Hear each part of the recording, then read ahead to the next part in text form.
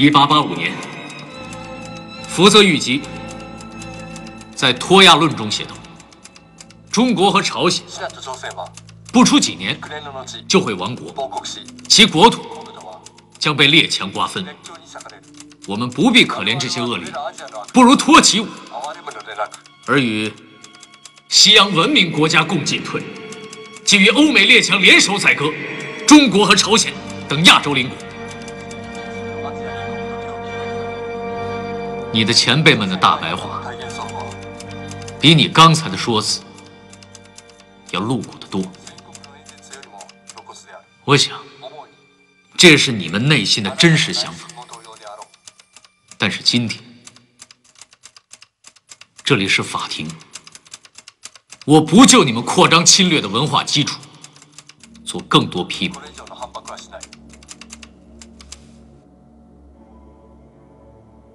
先提请，传南京市临时参议会副议长陈耀东出庭作证。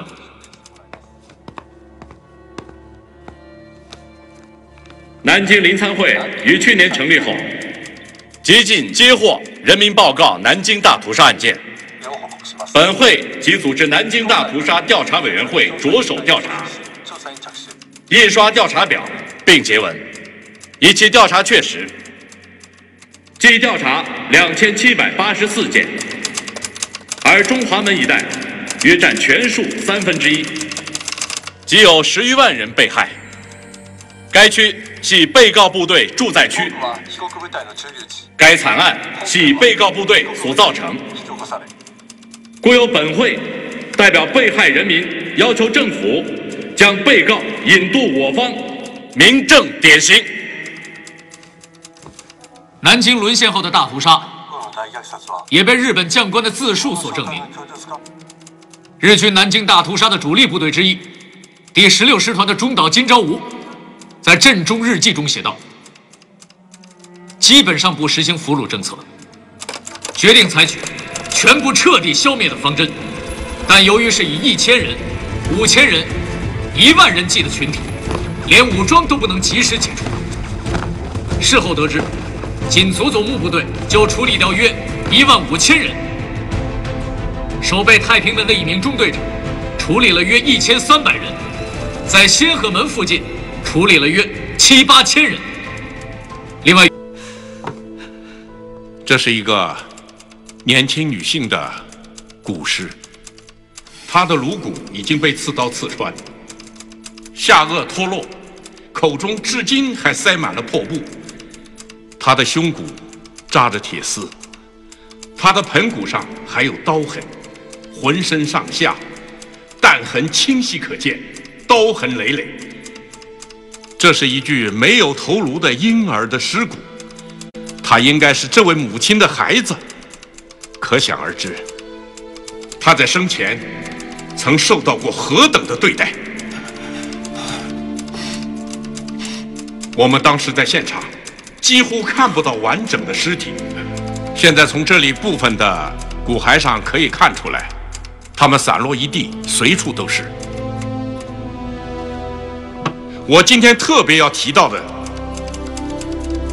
这也是一个年轻女性的尾椎骨，至今它上面还插着这样的钢钎，在发掘现场，像这样的惨状。比比皆是，惨不忍睹。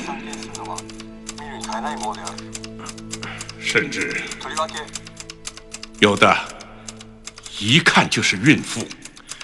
在大人的遗骸里面，还有一个孩子的骸骨。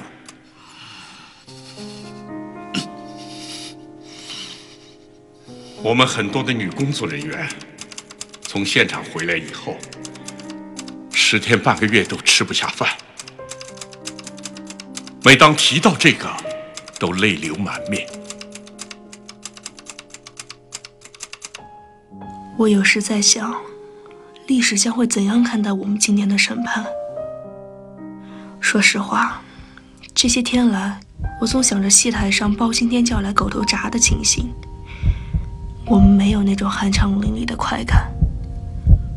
为了把恶魔送上断头台，甚至还要与他们对簿公堂。唇枪舌战。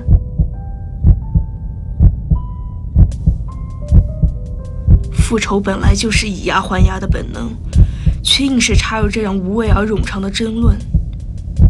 它的意义，或许只在于向世人揭露敌人的暴行。我担心，仅仅靠一个法庭，根本无法承载民众沸腾的民怨和偿还血债的呼声。